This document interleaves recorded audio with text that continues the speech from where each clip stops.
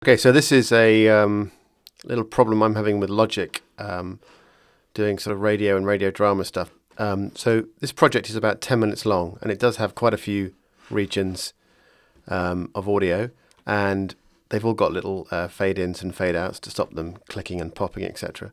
But what I find is that if I select a region and then say all the regions that follow that, and then I want to um, nudge those up a little bit, say nudge them to the right, okay, that works fine. Um, if I come back and try and do that again, that works fine. Then I get a little bit of a spinning beach ball. It was thinking a little bit more.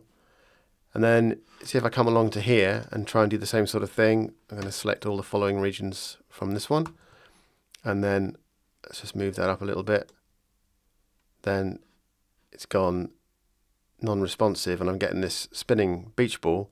This time though, it will probably, I don't know, make more than five minutes. Uh, usually I just have to force quit out of it.